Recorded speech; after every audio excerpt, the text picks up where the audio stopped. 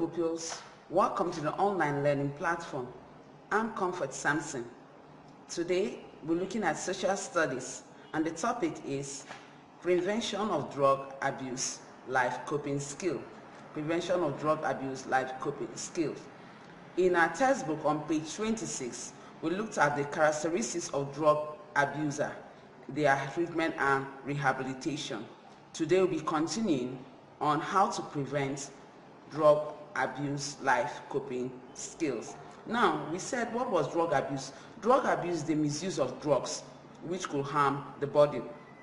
We saw that some drugs are harmful to our body and these drugs could affect our system.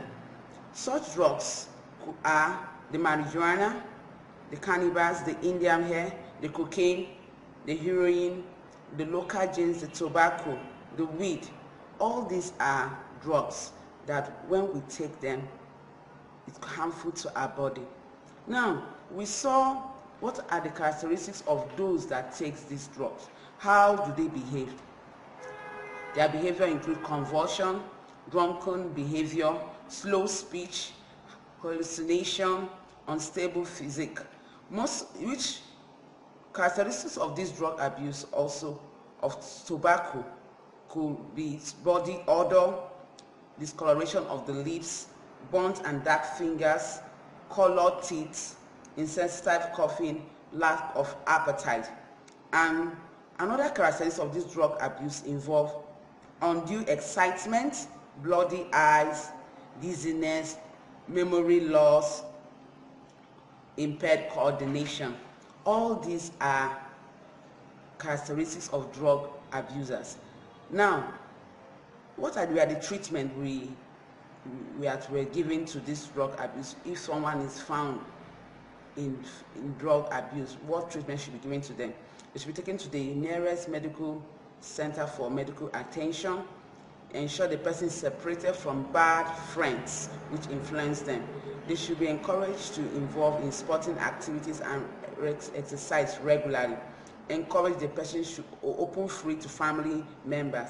The person should get involved in religious activities. Now in our topic today we said we are going to look at prevention of drug abuse life coping skills. What are the prevention to this drug abuse? Now there are many ways you can help in preventing this drug abuse. There are healthy pro promoting behaviors. One of the promoting behaviors that is recommended for drug abuse abusers include regular exercise. They should have regular exercise. This helps the brain to release chemical um, releases chemicals to the brain with, to the abusers to reduce mental illness and imp it improves sleep, sleep and reduces stress. stress. Also, getting involved in sporting activities could be a good way to help the abusers. Sporting activities makes them to be their spirits to be high and prevent the abusers from thinking about the drug.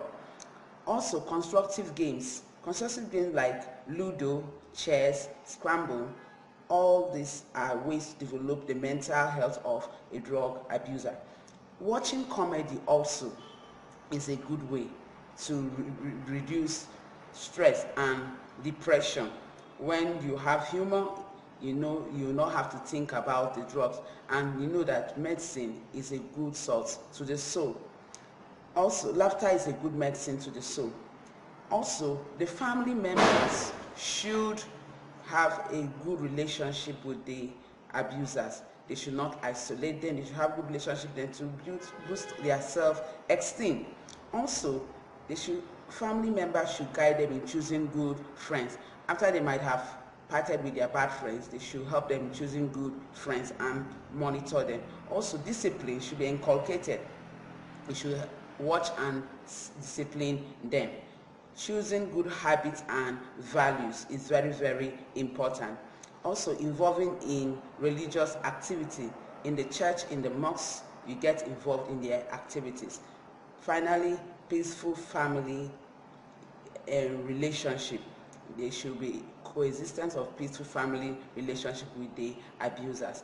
Pupils at home, I hope you have learned one or two things concerning ways to prevent drug abuse. As many around you that are involved, please, you've learned today on what to do. So go to your textbook, in social studies textbook, go to page 30 and to page 35 where you have to read and see what you are supposed to do. Then you go to your workbook, page 23 to page 27.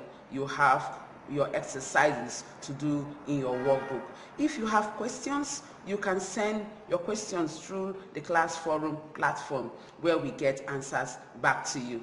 Children, do stay safe and have a pleasant day. Thank you. Thank